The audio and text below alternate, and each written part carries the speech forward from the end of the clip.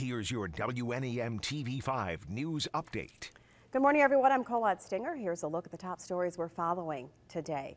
Another conflict threatens to push gas prices even higher as Yemen rebels escalating attacks on Saudi Arabia, targeting its critical oil and gas facilities, and says it won't bear any responsibility for oil prices. The markets are already reacting, with crude oil up $1.20, hitting more than $113 a barrel. Well, a federal judge has denied motions by former officials in the Flint water crisis bellwether trial. The judge shut down three motions filed by the defendants. They claim it would be pointless to appear at trial because they plan to plead the fifth to all questions. The trial will determine if two engineering companies were negligent in the water crisis. Attorneys filed the suit on behalf of four children claiming their injuries were caused by exposure to lead in the city's drinking water. Well, the parents of the teen accused in the Oxford High School shooting are back in court today for a pretrial hearing. Jennifer and James Crumbley are each charged with four counts of involuntary manslaughter. They have both pleaded not guilty for all four counts. Their trial is set for 10 a.m.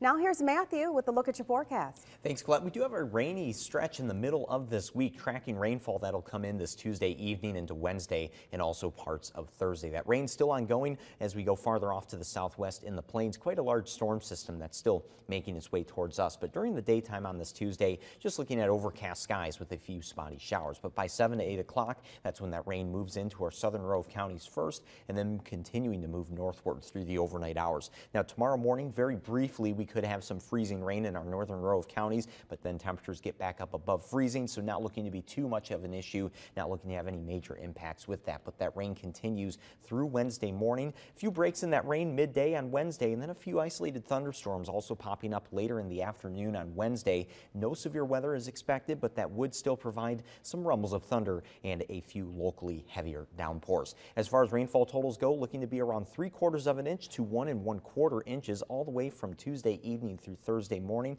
So it is spread out over a longer period of time, but still overall looking quite impressive for the middle of this week.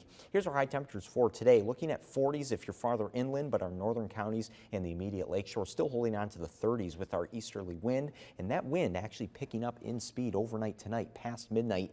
Gusts reaching up to 30 to 35, possibly even close to 40 miles per hour on the immediate lakeshore as that wind will still have an easterly direction. Overall, just looking wet and windy to start off on Wednesday morning. 70 forecast is highs in the middle 40s pretty consistently for the rest of the week. We are drier though by the end of the weekend, Sunday into Monday, looking at partly to mostly cloudy skies and just partly cloudy on Monday, but then a little cooler, highs only in the 30s.